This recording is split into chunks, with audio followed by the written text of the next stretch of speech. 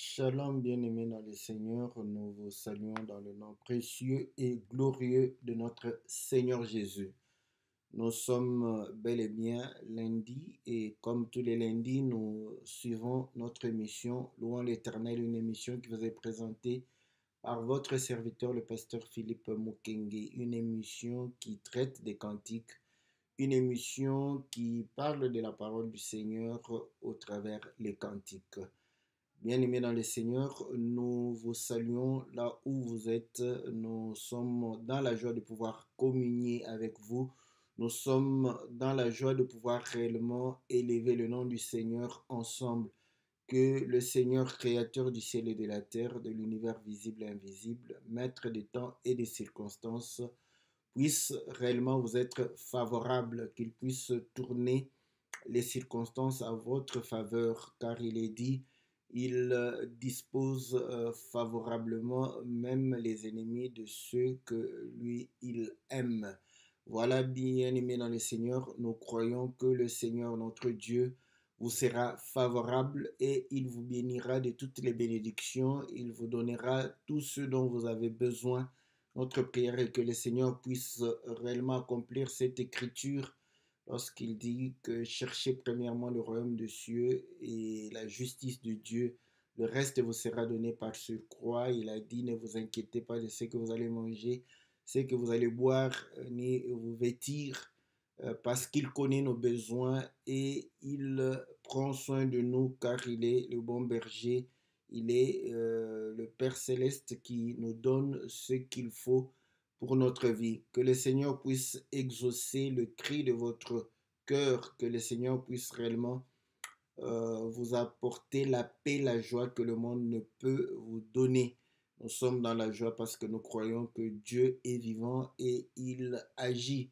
Salutations à tous les bien-aimés. Nous saluons euh, notre sœur euh, Jadira Maria. Nous saluons notre bien-aimé Guilain. Que le Seigneur vous soit favorable. Salutations au bien-aimé Farid. Nous saluons euh, Jésus t'aime.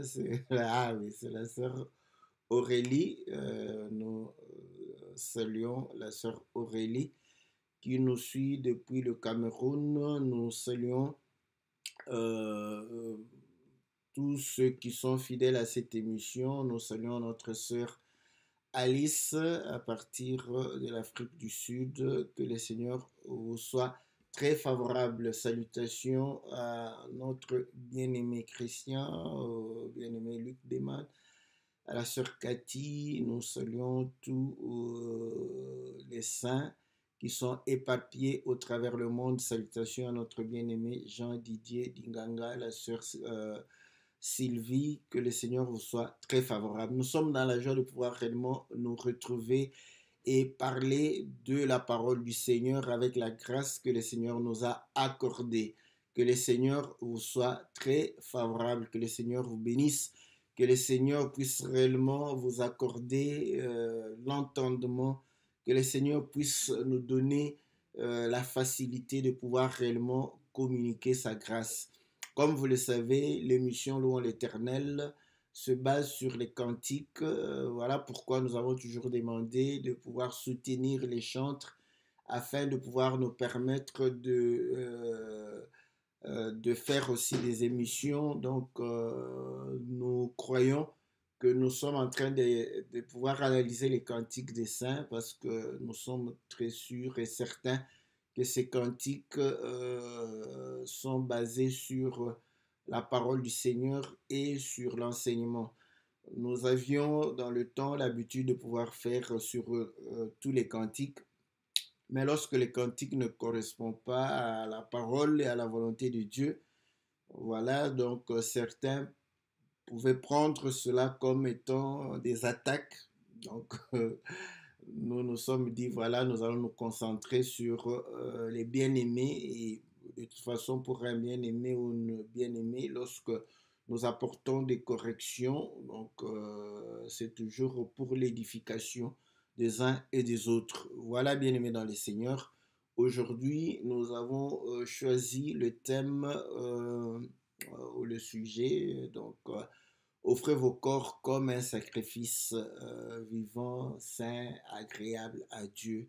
Donc, euh, nous avons tiré des paroles de notre frère Israël Choco qui a chanté, n'est-ce pas, euh, son cantique. Certainement, il s'est inspiré de l'écriture de Romains chapitre 12. Voilà pourquoi. Bon, aujourd'hui, au moins, lui, il a mis le sous-titrage.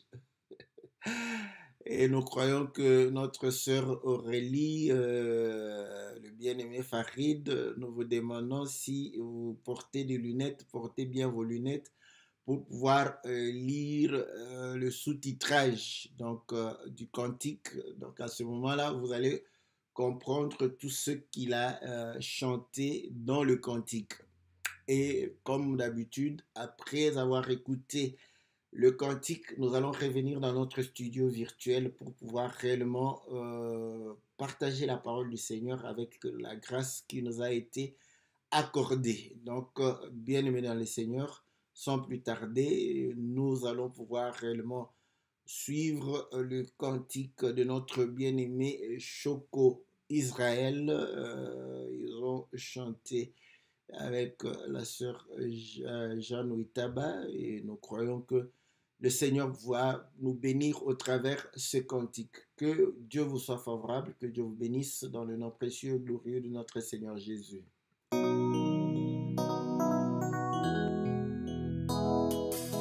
What can I give you? What sacrifice? What can I do for you, God? Hallelujah.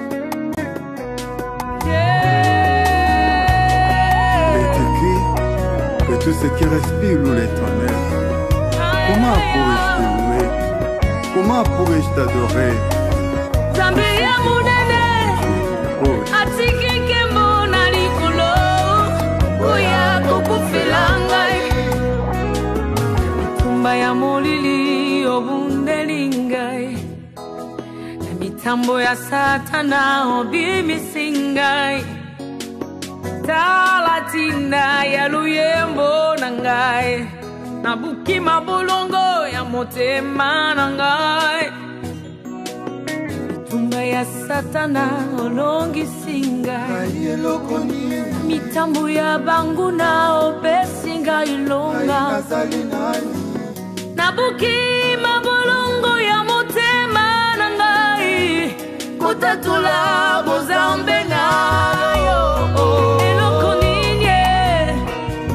napesa na yo. Eloko nini? Nabonzela yo yesu.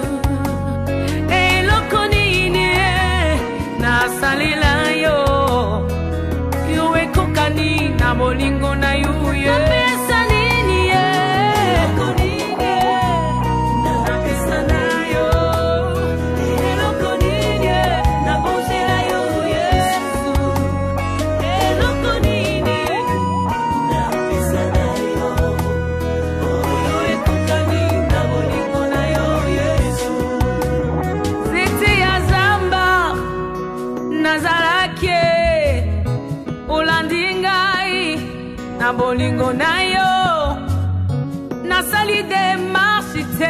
nafuti mbongo te. Oh, bolingo na yo elandi ngai. Napesa yo nini ye? Nazongisa nini? Nabuki mabolongo ya motema na ngai. Liboso na yo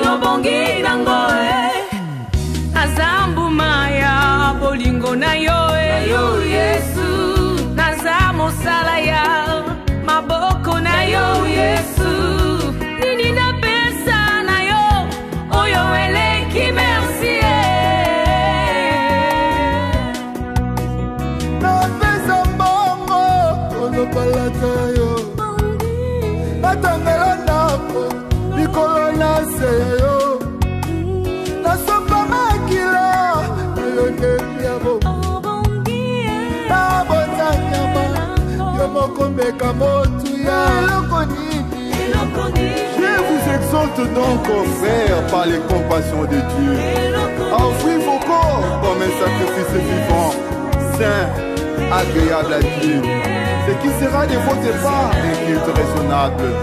Que Jésus-Christ vous bénisse.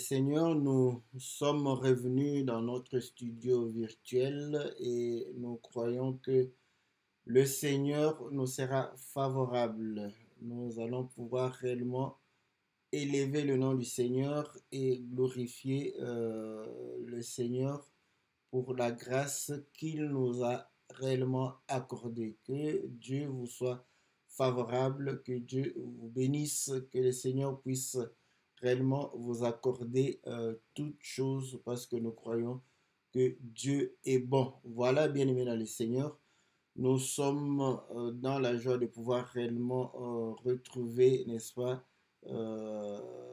cette communion et nous pensons que le Seigneur sera favorable à tout un chacun. Donc, il a chanté pour pouvoir euh, demander, bon, il se posait la question, qu'est-ce qu'il peut offrir à Dieu et qui soit réellement comparable à l'amour que le Seigneur a manifesté envers nous. Et il a commencé à pouvoir euh, se dire, voilà, si euh, je construis une maison, les cieux lui appartiennent, comme Salomon a dit, est-ce que vraiment Dieu peut habiter dans cette maison que je lui ai construite, car les cieux du ciel ne peuvent le contenir. Donc, euh, si je t'offre un sacrifice, un animal, tu es le sacrifice qui ôte le péché du monde. Donc, euh, il se rend compte qu'il n'a pas autre chose. Euh, L'argent appartient à Dieu, l'or appartient à l'Éternel. Donc, euh, tout ce qu'il peut euh, donner appartient à l'Éternel et il finit par comprendre que euh, l'amour que le Seigneur a manifesté envers nous, c'était de pouvoir réellement donner sa vie. Et voilà pourquoi il dit, il n'y a pas plus grand amour de donner sa vie pour son ami, pour ses amis. Donc voilà pourquoi il finit par comprendre qu'il faudrait réellement offrir son corps comme un sacrifice vivant, agréable, saint à Dieu. Donc euh, l'écriture complète pour dire que cela sera un culte raisonnable. Donc, bien aimé dans le Seigneur, nous allons lire l'écriture qui a pu euh, véritablement euh, inspirer notre euh, frère euh, Israël Choco et qui a dû chanter avec la sœur Jeanne. Nous les bénissons pour cela et nous saluons tous les bien-aimés qui nous ont rejoints pour pouvoir réellement partager la parole du Seigneur.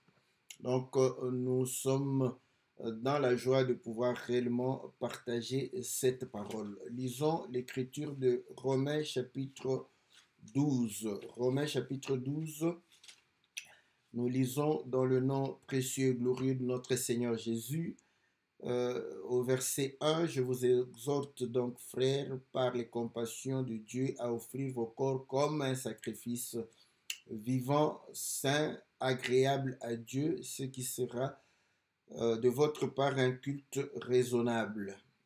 Donc euh, voilà euh, l'écriture que nous avons aussi pris pour pouvoir réellement partager la parole aujourd'hui. Donc, il s'est posé la question et la réponse est dans les Écritures.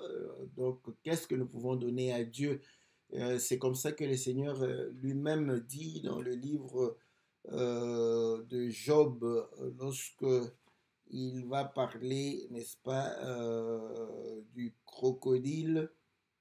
Écoutez ce que il va pouvoir réellement euh, euh, dire.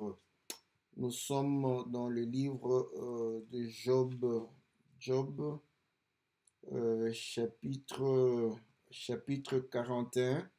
On dit ceci au verset 2, De qui suis-je le débiteur? Je le payerai sous le ciel, tout m'appartient. Donc, vous voyez, Dieu ne peut, euh, voilà, ne peut recevoir en premier. Donc, euh, euh, tout lui appartient. Donc, si nous avons, c'est parce que Dieu nous a donné.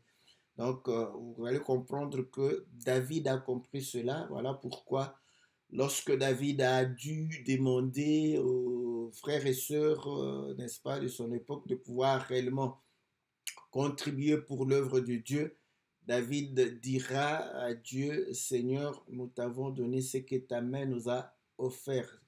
Donc nous comprenons que ce que nous donnons à Dieu, c'est ce que nous avons reçu de la part de Dieu. Donc nous n'avons pas quelque chose à pouvoir donner à Dieu en premier. Et ainsi, euh, tout lui appartient, tout euh, est à lui. Et Dieu n'est pas impressionné par le matériel, euh, il n'est pas impressionné par les choses qui périssent. Voilà pourquoi le Seigneur lui-même a exhorté dans le livre de Jean chapitre 6 à ceux qui étaient en train de pouvoir le suivre pour les choses qui périssaient, de travailler, de se donner pour euh, une nourriture qui subsiste au lieu de pouvoir réellement se donner ou travailler pour une nourriture qui périt. Donc nous comprenons que le Seigneur, n'est-ce pas, euh, n'est pas euh, impressionné par cela.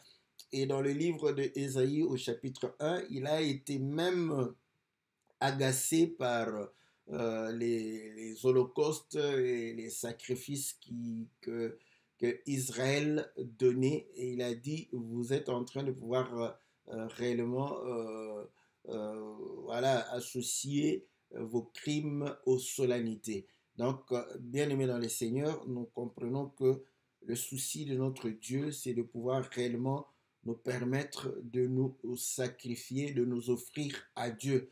Donc, c'est le principe de Dieu, œil pour œil, dent pour dent, vie pour vie. Il a donné sa vie, donc euh, il ne peut que redemander nos vies. Donc euh, vous allez comprendre que c'est par la vie qu'il redemande la vie. Donc si le Seigneur a donné la vie, nous devons lui donner la vie. Et vous allez comprendre que les Écritures démontrent à suffisance que il n'a voulu ni sacrifice ni holocauste, mais il a formé un corps pour que Christ soit réellement le sacrifice agréable à Dieu. Et ainsi, il s'est donné pour nous. Et euh, c'est l'amour, parce que qu'est-ce que je peux te donner euh, qui soit comparable à l'amour que tu m'as manifesté? Et l'amour du Seigneur, c'est de pouvoir réellement se sacrifier pour nous. Voilà pourquoi nous avons toujours insisté sur cela, que l'amour de Dieu ne consiste point, je sais que euh, ça peut choquer, mais ne consiste point à avoir, n'est-ce pas, euh, une belle maison, une belle femme, de beaux enfants, un beau mari, un, bon travail, euh, d'être riche. ce n'est pas ça l'amour de Dieu.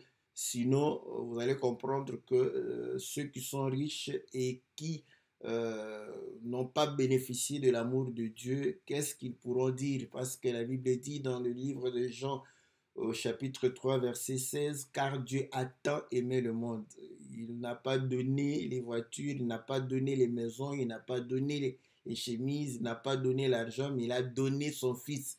L'amour de Dieu consiste à donner le Fils, à donner, n'est-ce pas, euh, le fruit de ses entrailles. Voilà pourquoi nous avons toujours dit que si tu veux manifester l'amour envers Dieu, tu n'as qu'à donner tes entrailles, voilà, donner ce qui est euh, au fond de toi, ce qui est euh, ton intérieur, voilà, c'est ce que le Seigneur veut. Voilà pourquoi il aime nettoyer l'intérieur, il s'intéresse à l'intérieur parce qu'il sait que c'est ça euh, le, véritable euh, soi-même, c'est ce qui, qui, fait ta personnalité.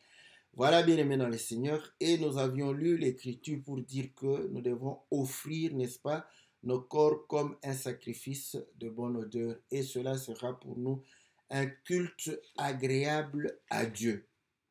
Et cela, comme nous avons toujours dit, ça paraît être simple, ça paraît être, euh, comme le bien-aimé dit, vous voyez, ça c'est doctrinal. oui, ça paraît être simple, ça paraît... Et là, donc, on voit, il faut se sacrifier, il faut se donner, il faut, euh, voilà, faire, euh, se disposer. C'est bien, mais quand nous analysons ici, vous allez comprendre que il a parlé, n'est-ce pas, du sacrifice qui soit agréable et du culte, n'est-ce pas, euh, raisonnable. Or, comme nous avons toujours dit, euh, le témoignage de deux ou de trois, c'est ce qui établit la vérité. Et lorsqu'on est en train de parler du culte, vous allez comprendre que c'est pour rendre un culte à Dieu. Donc, lorsque nous nous offrons comme un sacrifice, c'est pour rendre un culte à Dieu. Et vous allez comprendre que euh, quand on jette un coup d'œil euh, en arrière, nous comprenons qu'ils allaient rendre un culte à Dieu dans le temple. C'était important, c'était quelque chose, n'est-ce pas, euh, de, de, significatif.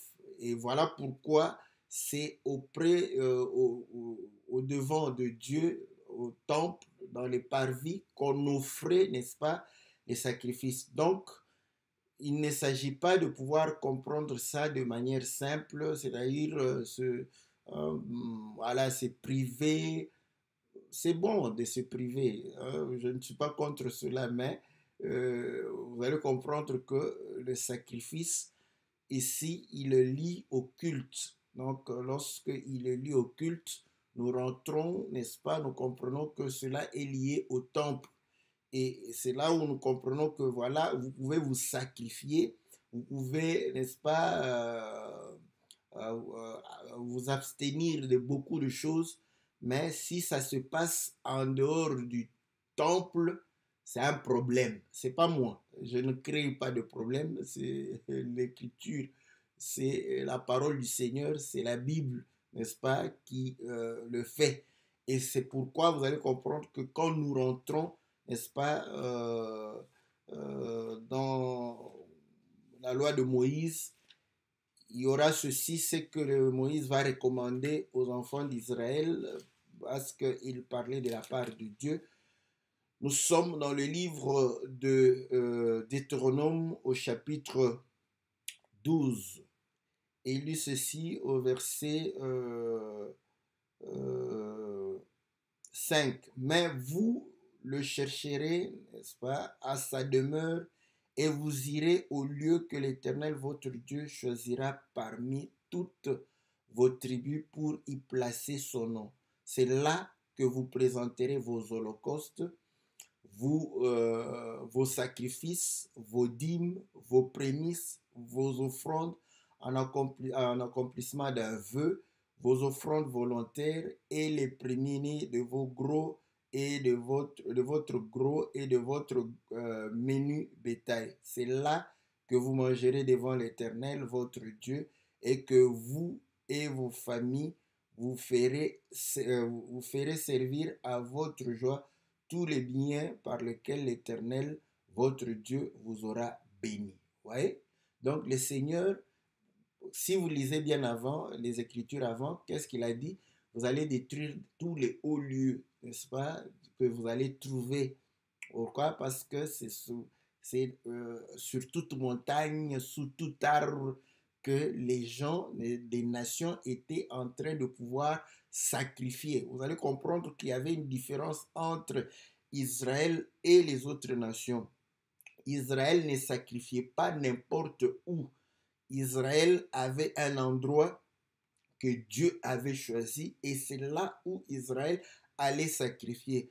Mais par contre, les autres nations pouvaient sacrifier partout où ils se trouvaient et lorsque euh, cela lui plaisait, il pouvait se- euh, sacrifier sur une montagne, sous euh, un arbre, n'est-ce pas, euh, un bois vert, il pouvait euh, sacrifier n'importe où. C'est ça la grande différence.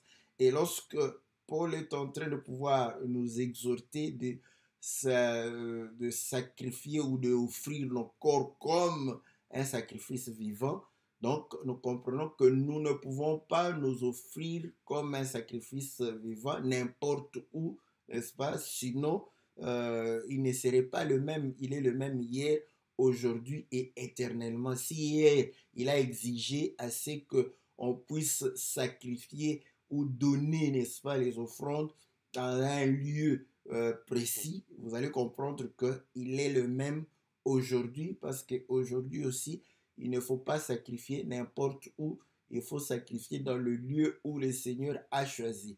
Et la Bible dit que le lieu où le Seigneur a choisi pour réellement euh, placer, n'est-ce pas, son nom, le lieu où sera euh, sa demeure. Et vous allez comprendre que euh, lorsque euh, le roi Salomon va pouvoir euh, faire le dédicace, euh, la dédicace de, euh, du temple, il va pouvoir euh, demander à Dieu de pouvoir euh, demeurer, n'est-ce pas, euh, dans cette maison. Nous lisons dans 1 roi chapitre 8 au verset 13. J'ai bâti une maison qui sera ta demeure, un lieu où tu résideras éternellement.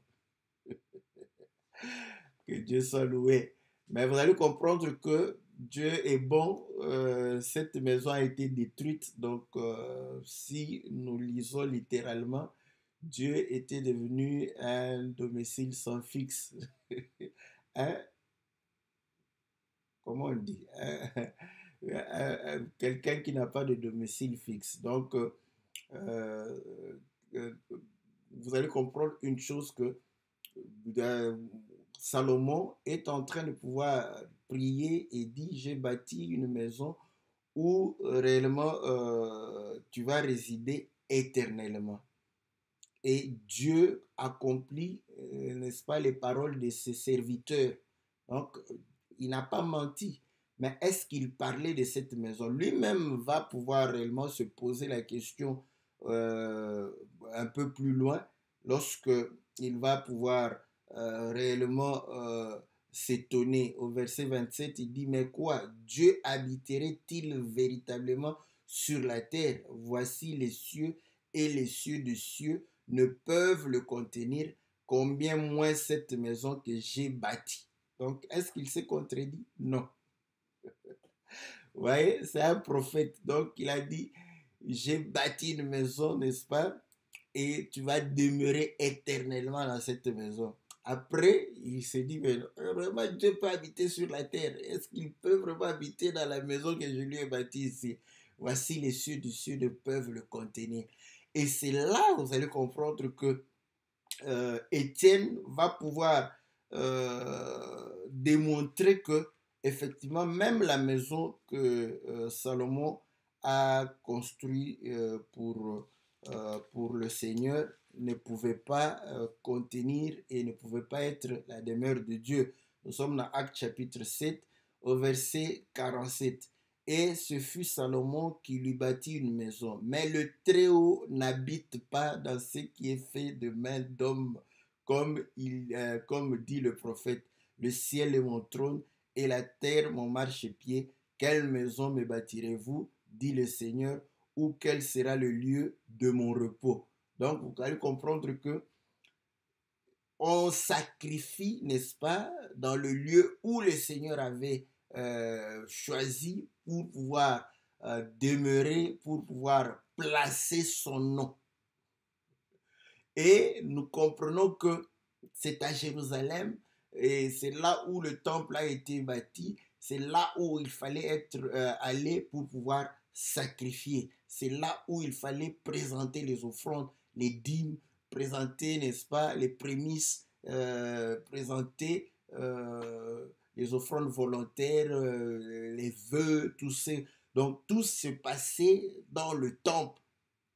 C'est là où on a mené, n'est-ce pas, les offrandes.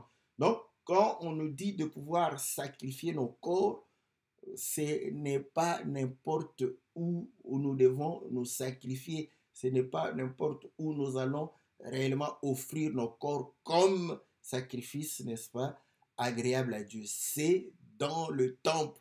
Et nous voyons que c'est dans le temple que le nom de l'Éternel, n'est-ce pas, réside. C'est là où Dieu, n'est-ce pas, réside. C'est là où il y a la présence de Dieu et c'est là où nous pouvons véritablement offrir. Donc ici, euh, Étienne va démontrer clairement que Salomon n'a pas construit une maison où Dieu a habité.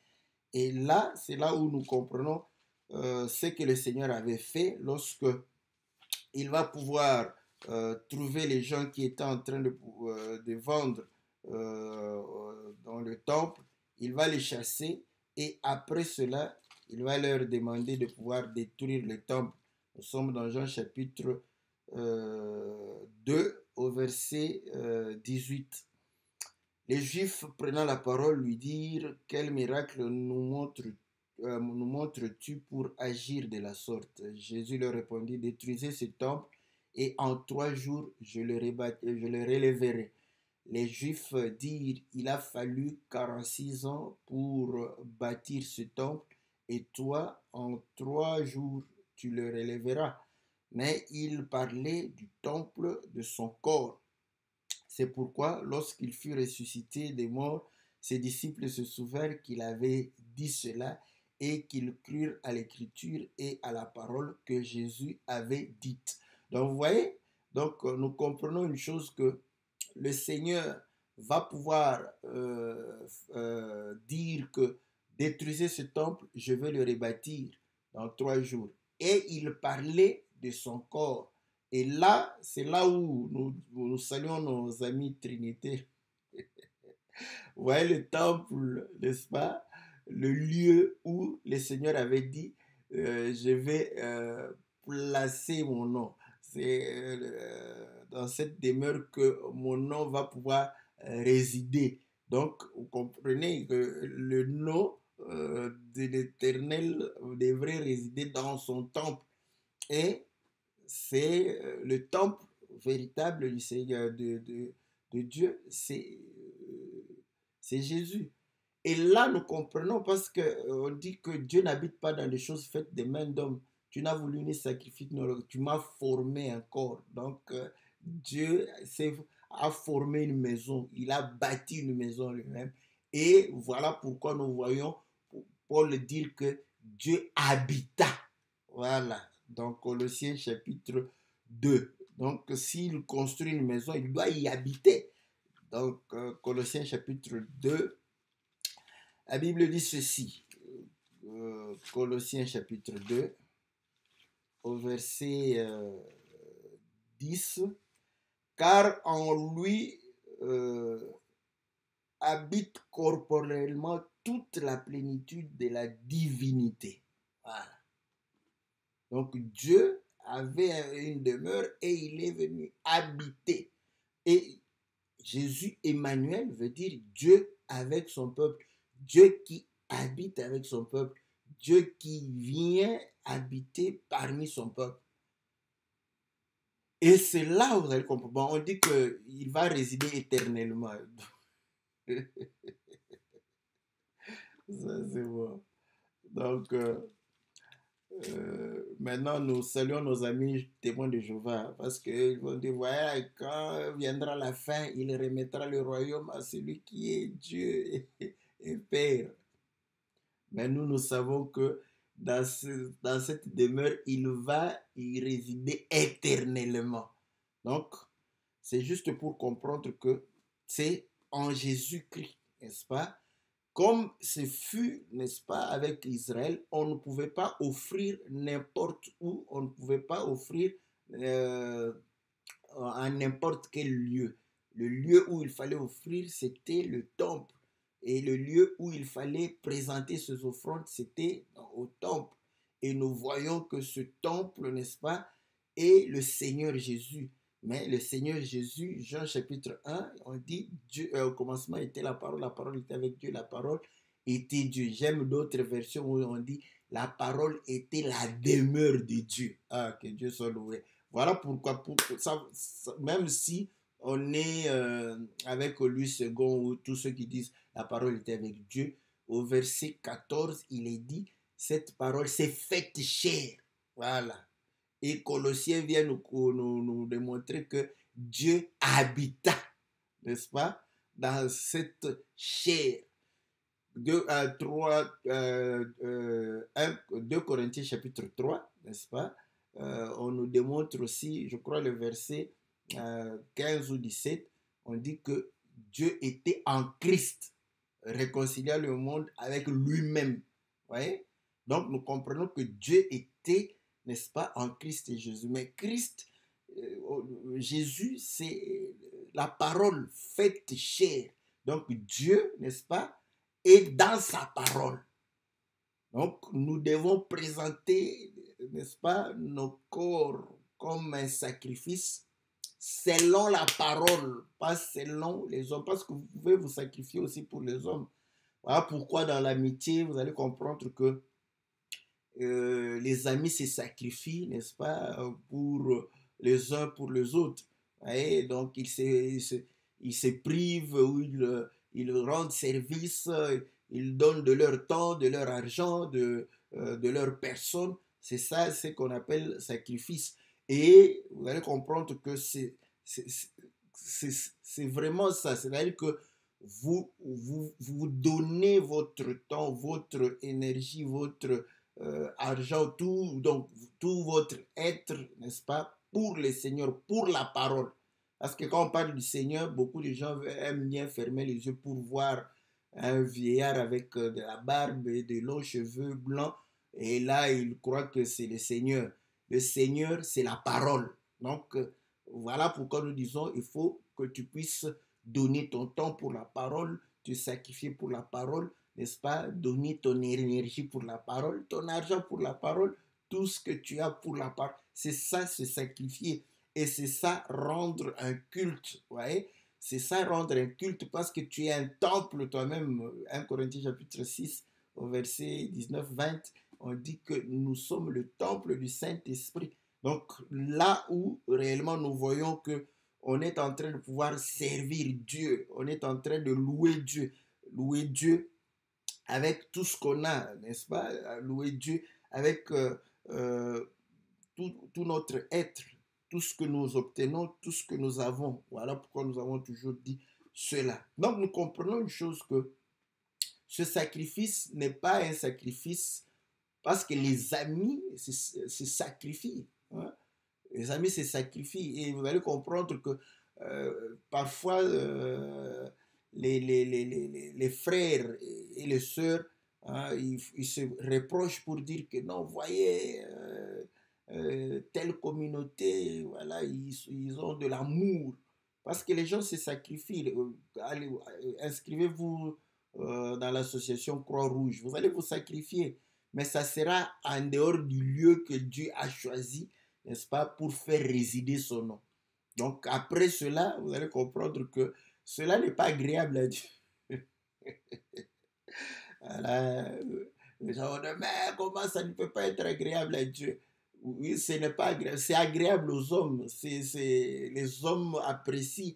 Les hommes sont impressionnés. Mais Dieu n'est pas impressionné par cela. Dieu, n'est-ce pas, ne peut pas euh, réellement, euh, comment, euh, sentir, n'est-ce pas, ce sacrifice comme, n'est-ce pas, un sacrifice de bonne odeur. Nous nous sacrifions pour le travail, vous voyez, nous nous levons tôt, nous, voilà. Mais bon, quand il s'agit du culte, on se lève tard, on vient en retard. Ouais, donc comprenez que on se sacrifie, mais c'est dans un lieu où euh, le nom du Seigneur ne réside point. Mais là, les gens se sacrifient. Ils se sacrifient pour l'argent, ils se sacrifient, ils se, se donnent, n'est-ce pas, de la peine pour les choses qui périssent, mais pas pour la parole. C'est là où vous allez comprendre que le Seigneur est en train de pouvoir le dire pour montrer que il faut se sacrifier à cause de la parole. Oui, parce que la parole le dit. Euh, Certains, non, mais c'est de l'hypocrisie. Euh, J'ai toujours entendu cela. Frère, j'ai pas envie de pardonner. Si je, je pardonne, c'est de l'hypocrisie. C'est Satan qui parle en toi. Je te le dis comme ça, très clairement, directement, avec beaucoup d'amour et de considération. Donc, comme le Seigneur avait dit à Pierre, arrière de moi, Satan. Si tu es près de moi, je vais te dire aussi, arrière de moi, Satan. Parce que ce que tu viens de dire là n'est pas la pensée de Dieu. Ce que tu viens de dire là, c'est vraiment une, une pensée humaine, charnelle, terrestre et diabolique. Voilà. Pourquoi? Parce que c'est ça euh, le piège de, de l'ennemi. Donc, il veut te faire croire que pour que tu accomplisses la parole de Dieu, il faut que tes sentiments à toi puissent s'accommoder avec la parole. C'est faux. Et tu comprends que Galates chapitre euh, 5, le verset euh, 17 dit que les, les désirs de la chair sont contraires aux désirs de l'esprit. C'est normal. Nous avons les désirs de la chair et les désirs de l'esprit en, nous parce que nous portons une chair. Donc, la chair ne voudrait pas pardonner. C'est ça, ça c'est un sentiment humain. Et c'est là où tu ne comprends pas que la parole, c'est là où la parole, on dit comme dans Hébreu chapitre, euh, c'est chapitre 4, n'est-ce pas? Je crois le verset euh, 12, si je ne me trompe pas. Et la parole de Dieu est comme une épée, n'est-ce pas, à double tranchant. Pour séparer, n'est-ce pas, l'âme et l'esprit, séparer les sentiments de l'homme et séparer aussi, n'est-ce pas, les désirs de l'esprit. Donc, l'esprit désire pardonner. Pardonne-leur car ils ne savent pas ce qu'ils font. C'est ça, ça c'est l'esprit qui parle. Et Étienne a dit, vous croyez que quand Étienne, on, était en train de le lapider là-bas, sa chair était en train de, de, de, de, sentir euh, des chairs de poule, de sentir quelque chose. De, euh, sa chair souffrait. Donc, charnellement, il pouvait euh, revendiquer, euh, chercher à se défendre, mais l'esprit en lui. Voilà pourquoi quand il a ouvert les yeux, il a vu, il a dit, oh, j'ai vu le Seigneur à la droite. à la droite de Dieu. Les gens ont dit, oh là là là là, on a commencé à les lapider. L'esprit, n'est-ce pas, a poussé à ce qu'il puisse pardonner. Donc, vous allez comprendre que ça, frère, je te le dis, ma soeur, je te le dis, franchement, avec amour, comme j'aime bien, moi j'aime bien, hein. Je n'aime pas Tony, hein, pour dire que non, euh, hein, voilà, euh, certains aiment bien Tony, c'est diabolique, c'est charnel, c'est un sentiment charnel. Pourquoi? Parce que c'est le diable qui te souffle pour dire que non, je, je veux pardonner quand ma chair sera disposée à pardonner. Non. Je pardonne parce que la parole m'oblige à pardonner. Et je vais souffrir par rapport à cet acte. C'est ça même, c'est sacrifier. Comment un sacrifice où tu ne souffres pas? Le Seigneur, quand il a été présenté par Esaïe, n'est-ce pas, dans Esaïe 53, l'homme habitué à la souffrance. Donc il souffrait. Donc tu dois souffrir. Comment tu vas pardonner sans souffrir? Euh, Donc vous allez comprendre que c'est un homme qui se sacrifie en dehors de la parole. Un homme qui se sacrifie dans un lieu, dans un haut lieu. N'est-ce pas? Donc euh, c'est un idolâtre. Mais il ne, sait pas qu'il est idolâtre. C'est un pur idolâtre. Donc euh, qui, préfère, n'est-ce pas, que ses pensées et ses sentiments puissent véritablement euh, s'accommoder, n'est-ce pas, à la parole où, voilà, ce moment-là, il peut agir. Donc, il n'agit pas au moment où Dieu lui demande de pouvoir agir. Il agit quand il veut. Donc, c'est quelqu'un qui n'est pas conduit par l'Esprit du Seigneur. Voilà pourquoi le Seigneur va dire à Pierre, tu es jeune, tu fais tout ce que tu veux. Voilà, c'est un jeune homme, il fait ce qu'il veut, il pardonne quand il veut, il, euh, euh, voilà, il, euh, il fait il s'excuse quand il veut, voilà. Donc, euh, il ne peut pas s'excuser. Non, non, je ne peux pas m'excuser comme ça, c'est euh, en tout cas euh, me diminuer, voilà. Comprenez que l'homme est loin, loin. Donc, le temple se trouve loin de l'homme. Donc, l'homme est dans les lieux arides. Il est en train de errer dans les lieux arides, n'est-ce pas? Il est très loin de la face du Seigneur. Il est très loin du temple. Il est très loin, n'est-ce pas, de la parole. Donc, nous comprenons que le sacrifice se fait conformément à la parole. Voilà pourquoi euh, la parole disait qu'on ne pouvait pas sacrifier un animal boité. Donc c'est un animal boité. Il va te dire que non, moi, vous savez, euh, nous, on se sacrifie pour l'œuvre de Dieu. Nous, on est euh, vraiment, on se donne pour l'œuvre de Dieu. Oui, mais quand on regarde les règles, un animal boiteux, un animal avec tache, un animal avec un membre plus long, un animal avec un œil euh, crevé. Donc, vous allez comprendre que aujourd'hui, c'est facile de pouvoir le dire comme ça, mais lorsqu'on ne comprend pas, en réalité, vous allez vous rendre compte que très peu sont des sacrifices, n'est-ce pas, euh, agréables à Dieu. Sont des sacrifices vivants, n'est-ce pas, euh, sains, vous voyez, euh, agréable à Dieu, de bonne odeur. Donc, euh, il ne dégage pas la bonne odeur. La bonne odeur, c'est l'odeur de la parole. Donc, il ne le fait pas pour la parole. Or, nous devons faire les choses pour la parole. Je n'ai pas envie. Ce que j'étais en train de dire, Pierre, Pierre, jeune homme, quand tu es jeune homme, fais ce que tu as envie. Voilà, Ecclésiaste le dit, jeune homme, fais tout ce que tu as envie. Donc, quand tu as envie, fais-le. Ça, c'est les jeunes hommes. Mais un vieillard, euh, celui qui est vieux, il ne fait pas ce qu'il veut. Voilà pourquoi le Seigneur dit, quand tu étais jeune, tu t'es saigné comme Papa Wimba avec, euh, n'est-ce pas, la ceinture. Là, là, tu te souviens que le souverain sacrificateur portait aussi la ceinture au niveau de, la poitrine, n'est-ce pas? Là, vous tu vas porter la ceinture au niveau de la poitrine, croyant être semblable au sacrificateur, au souverain sacrificateur, n'est-ce pas? Et tu, tu allais où tu voulais. Mais quand tu seras vieux, quelqu'un d'autre viendra avec la ceinture, la vérité de la parole. Et il va te conduire, n'est-ce pas, où tu ne veux pas. Le Saint-Esprit vous conduira dans toute la vérité. Ouais? Et il vous convaincra de ce qui est le péché.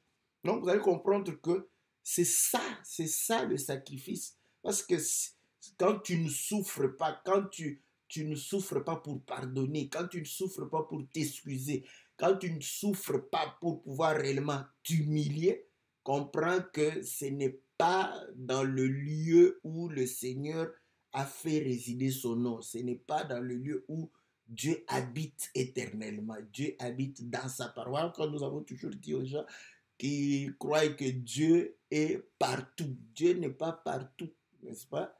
Dieu n'est pas partout. Euh, il faut le dire. Quand quelqu'un te dit ça, dis-lui Dieu n'est pas partout. S'il doute, tu lui demandes euh, est-ce que tu as déjà pensé, n'est-ce pas, euh, aller prier ton Dieu dans, dans, dans, les toilettes Tu vas voir que toi-même, tu as des difficultés d'aller prier. si on te trouve en train de prier là-bas, les gens vont dire que tu es un sorcier. Parce que là-bas, même un païen sait que Dieu n'est pas là-bas. Ouais, donc, mais, quoi, tu crois que non, Dieu est partout? Voilà, Dieu n'est pas partout. Dieu est dans sa parole.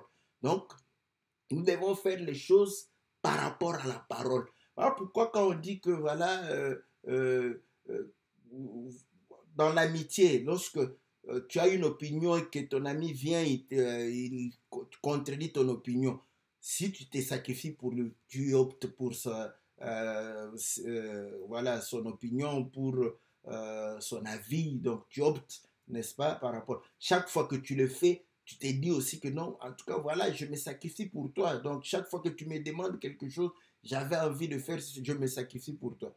On le dit, n'est-ce pas? Donc tu n'as pas envie de le faire, mais tu le fais parce que tu t'es sacrifié. Mais pour les hommes, on le fait, mais pas pour Dieu. Ouais? Vous allez comprendre que c'est là où nous disons que prendre nos corps et les, euh, euh, les offrir comme un sacrifice, cela doit être dans, la parole de Dieu. Et je vous le dis, c'est par rapport à la parole. Ayez cette habitude. Que le diable ne vous trompe point. Le diable ne vous trompe point. Je prends les écritures que nous avons toujours utilisées. Euh, marchez selon les désirs de, euh, de l'esprit. Euh, ne complissez pas les désirs. Bon, quand vous lisez là-bas, vous voyez, euh, la jalousie, euh, les querelles, euh, vous n'allez pas voir, vous n'allez pas voir que non, l'envie de ne pas pardonner. Il y a noir sur blanc, il y en a pas. C'est là euh, parce que là même, même euh, un théologien, même euh, un intellectuel, un athée peut te dire que voilà, non, voilà les, les désirs de la chair. Donc, ouais.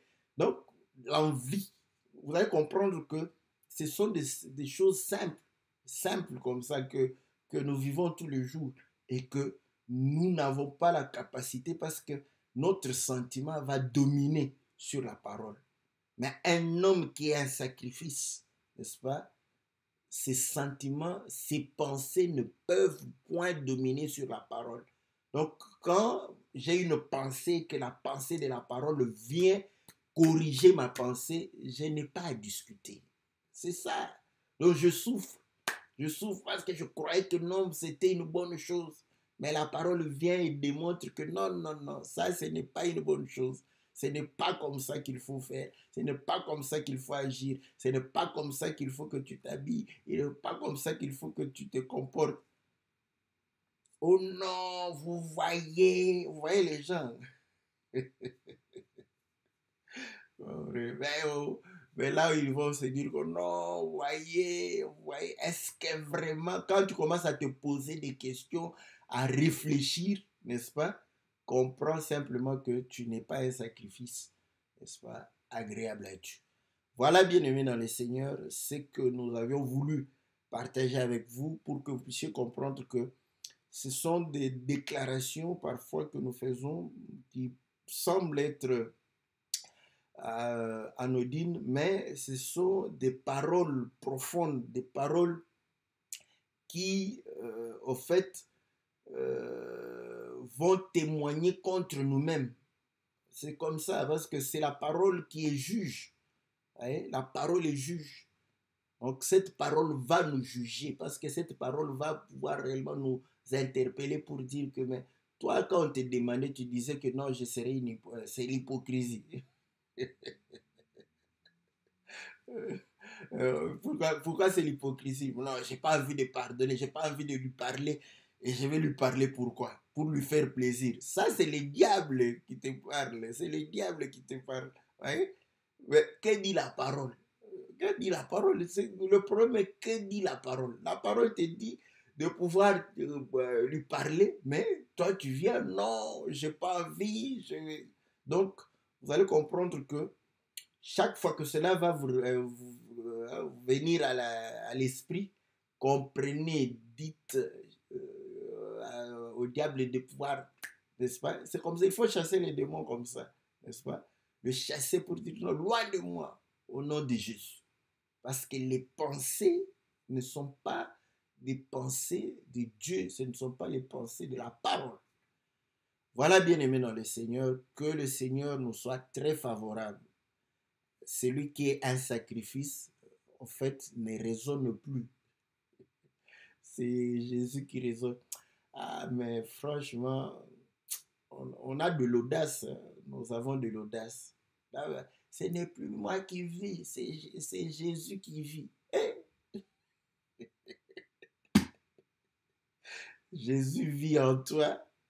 Jésus est incapable, Jésus qui vit en toi, incapable de pardonner, incapable de s'humilier, incapable de se taire quand on est en train de pouvoir réellement l'insulter, le persécuter. C'est Jésus là. Ben, ça, c'est un autre Jésus. Paul dit quand quelqu'un vous prêche notre Jésus, qu'il soit anathème. Toi, tu es en train de témoigner notre Jésus. Tu es anathème. Tu es, tu es réellement sous la malédiction. Parce que tu fais de Jésus, tu fais un faux témoignage contre Jésus. Ce n'est plus moi qui vis, mais c'est Jésus qui vit en moi. Frère, et je préfère encore que tu aies euh, la conscience de ne pas prononcer ces, ces paroles. Il y a des paroles où, franchement, euh, il ne faut pas prononcer. Parce que ça sera un jugement contre toi-même. Un Jésus, quand on le provoque, il s'énerve. Euh, ça, c'est barre Jésus. C'est barre Jésus. Est-ce que vous comprenez? Donc, euh, soyons humbles. Soyons humbles. Ce n'est pas euh, en faisant des slogans comme ça que tu vas impressionner tes voisins, tes cousins, tes, euh, les, les frères à côté. Donc, la foi, c'est par rapport à Dieu. Et Dieu n'est pas impressionné par rapport à toutes ces choses-là. Donc, si Paul a dit, si, je vis, c'est plus moi qui vis, c'est Christ qui vit en moi. Lisez la vie de Paul, vous verrez combien Christ a vécu en lui, combien il a renoncé, n'est-ce pas, à des choses qui lui faisaient plaisir, à des choses qui étaient sa gloire et son honneur. Aujourd'hui, pour ton honneur, euh, ah, il m'a humilié. Il m'a humilié. Euh, que le Seigneur vous soit favorable. Mais on t'a humilié, Jésus a été humilié aussi. Qu'est-ce que ça fait? Tu n'es pas le premier à être humilié, n'est-ce pas? Donc voilà, bien aimé dans le Seigneur. Un sacrifice agréable à Dieu, de bonne odeur, saint. Donc euh, comprenez que ça dit beaucoup. Prenons cela avec euh, beaucoup de considération et soyons conscients, n'est-ce pas, de ce que la parole nous recommande. Et vous allez comprendre que nous allons vivre cette parole. Et c'est comme ça que quand tu, tu, tu, tu passes des moments comme ça, tu pardonnes avec euh, beaucoup de difficultés, ne t'en fais pas. Ce sont les premiers pas. Et après, quand ça devient ta nature, tu vas voir que tu vas pardonner assez facilement. Mais il faut commencer par passer par cette souffrance-là. Que personne ne te dise, ah, le pardon libère, oui, là, c'est le pardon libère, c'est bien, hein, tout ça. Mais quand on te dise que pardonner, ça fait mal. que le Seigneur soit loué, que le Seigneur soit béni. Nous bénissons notre bien-aimé, n'est-ce pas, euh, Israël Choco. Et nous pensons que euh, le Seigneur lui sera favorable, ainsi que la sœur euh, Jeanne. Et comme nous le disons toujours, euh, bien aimés, euh, en tout cas tous les frères et toutes les sœurs qui donnent, euh, nous les bénissons et nous les encourageons à ne pas se décourager. Parce qu'il y a des frères et des sœurs qui donnent régulièrement, hein. donc ils ne se fatiguent pas. Continuez comme ça, ça va encourager les autres qui sont encore lourds. Parce que, ah, on va encore donner, donc, bon, quand il comprendra que non, euh, les sentiments de la chair et les sentiments de l'esprit sont euh, opposés, n'est-ce pas? Euh, Voilà, ils vous suivront et ils donneront pour que nous puissions soutenir, n'est-ce pas, les chantes et que nous ayons aussi de la matière pour notre cahier de charges où nous analysons les cantiques et spécifiquement les cantiques des saints. Que le Seigneur vous soit favorable. On se retrouve lundi pour votre émission Louant l'Éternel et nous nous retrouvons mercredi pour l'émission que la Bible parle. Et pour cela, nous avons toujours des questions de bien-aimés. On va essayer de répondre avec la grâce que le Seigneur nous a accordée. Que Dieu vous bénisse, que Dieu vous soit très, très favorable au nom puissant et glorieux de notre Seigneur Jésus. Amen.